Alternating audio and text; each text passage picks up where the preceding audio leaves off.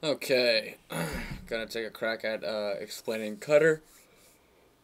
Cutter is a wrapper around um, uh, Radare 2 and uh, uh, very useful in my opinion because Radare 2 is quite a powerful uh, program, uh, but this makes it a little bit more accessible just by providing the GUI. Um, so uh, it depends on where you would want to use this sort of software. Um, if you're stuck with a CLI, then you know normal R2 would be sufficient. But uh, if you are allowed to use a GUI, uh, why not? You can see this is their website here, cutter.re. Uh, it'll detect your OS, and it is quite a useful uh, place to download this. But if you choose to go to the uh, GitHub repo here, you will see just a little bit more uh, about downloading a release. So on Mac OS, you just have a homebrew cask. On Windows, there's a zip file, and then for Linux, there is an app image file. So if you're not familiar with app image, it's just like a distro agnostic executable. You just need to chmod it appropriately and then dot slash run the thing. So I'm on Ubuntu, and that is how I am going to run the software and I have already installed it but if you need to find a release and you choose not to go here you can find perhaps even uh, a more recent release if they're not updating their website. Uh, I don't know. Or previous releases is probably a better way. Uh, on the right hand side you have releases and then you have your files here and you can find previous versions I'm sure uh, down here. So let us get into it. Um, I'm just going to do a walkthrough of what it looks like uh, at this time. Um, might do a homework level on a separate video. So, uh, ooh. What do we got here? Uh, is this A dot out going to suffice? Just looking for a, uh,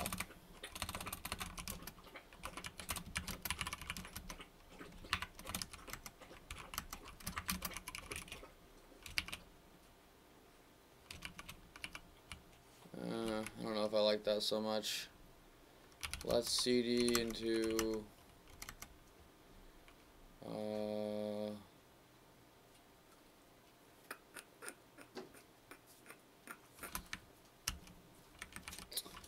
you know what, let's just try it. So, I keep my tools in this tool chest. It's a directory from my main and what I can do here is just dot slash because I have appropriately uh, assigned permissions to the cutter executable uh, cutter app image. And uh, I have yet to find a way to run this in the background. Ah lovely. I have a previous exercise here so I'll just run the run this on ASCII strcomp uh, I'm not gonna solve it but um, I'll double click this. It's a previously created well no. It's a program I've selected previously but they have they have uh, created the ability to uh, use projects. So uh, you can save to a project. So you would do file uh, and then save as, and that is an option. Um, but this is uh, generally what you've got. So it may look very similar to IDA, uh, perhaps a little bit more sleek. Um, I certainly enjoy it. They used Qt, uh, that, that C++ framework, to make these super handy widgets. And um, anything that you don't see that you may want to see uh, can be found in the Windows tab. So that's that's super helpful. Uh, yes, it's not as uh, as robust perhaps as Ghidra or IDA uh, or even OllyDbg, but um, all of the things that you may care about, it supports. Uh, in particular, excuse me, it supports the ability to um, just run Radare 2 commands, and I believe you would do that here in the console, although I haven't had the need to do so, but Cutter does not implement all of the features uh, that radare 2 has, nor do I even know if that's possible. Um, so if there's anything inside R2 that need, you need to access, uh, you don't have to leave the Cutter environment to do that. Um, another thing that I find useful uh, is this dashboard here, which is uh, on the, the main widget page, you have these various tabs, and the dashboard gives you an overview of the binary itself. So it's location, format, uh, the bits uh, uh, uh, so that's like the architecture, I, su- I suppose. Uh, you have the language, it'll try to detect us, I don't know how well this would work for other languages, but it knows that this is C code. Um, it knows that it's uh, all using virtual addresses, canaries. There are no crypto functions. It has no execute bit, so there's probably some read-only data in there. Uh, it's position independent. Uh, oof, I don't know about that one. Uh, certainly not helpful if that's the case to us. Uh, are there relocatable relocatable data sections? Yes. Um, is it stripped? No. So you still have your function names, and it can even detect a compiler signature.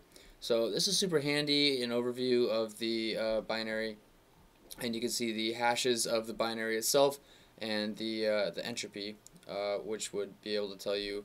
I mean, basically, you can glean from entropy whether or not something is compressed. Uh, uh, yeah.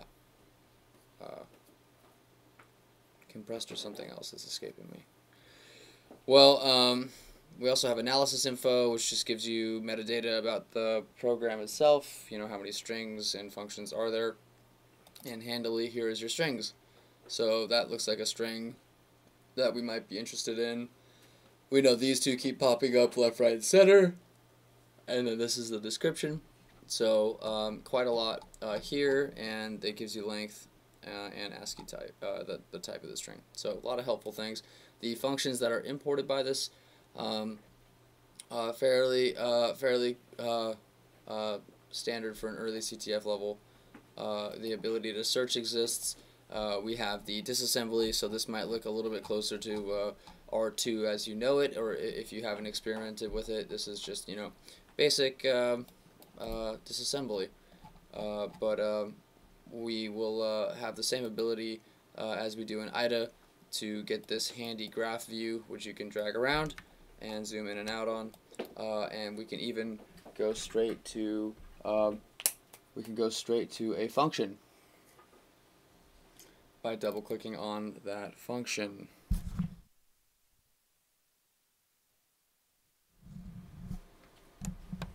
Sorry. So uh, if we zoom out, here we are. We have the uh, main function as we know it, and getting out far enough gives you a nice overview. I think there's a special thing for graph overview, uh, but I, uh, yeah, you can also just zoom out. So uh, that is a window that I don't care too much for, at least with this small of a program. Uh, and you can read it in the fashion that you see fit. So it is particularly helpful. Uh, sorry for the squeaking sound. Uh, we also have this hex dump. Oh, hey bud. Sorry, we have this hex dump where you can take a selection of characters and you'll see the, the various hashes and entropy of those uh, characters and um, that is the crash course on Cutter.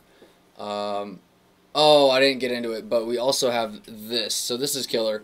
Um, so I went off to buy a textbook on Ghidra alone because I thought Ghidra was so awesome. I was like, wow, what a useful program. The decompiler is amazing. Um, it's a fr it's freeware. It's not uh, uh, it's not uh, you know some expensive piece of software. Uh, so you got to give it to them, even if uh, you know it's a NSA product. I mean, I'm I'm not particularly picky, you know, and I'm, I imagine by now somebody would have found the back door if one existed. So I think it's just a good piece of NSA software. That's a weird thing to say.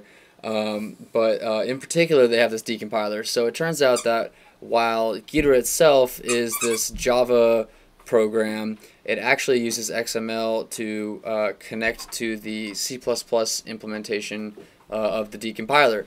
So being as that is a standalone program, these Cutter R2 guys were able to just extract that and then use, I imagine, the same XML format to do communication with Cutter. So they have entirely done away with Ghidra, but they took the best part about it, in my opinion, which is the decompiler.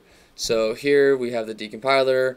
Uh, it's upset there's no code. Um, if I were to switch to disassembly, uh, this is my disassembled main. Now, don't rely too heavily on dis uh, decompilation and uh, uh, decompiled code uh, because it um, it has you know it'll have errors in it and it might just be easier, especially for some of these levels, to read the assembly. Uh, that's the uh, that is the the manner the class was uh, uh intended to be uh, uh, taught in.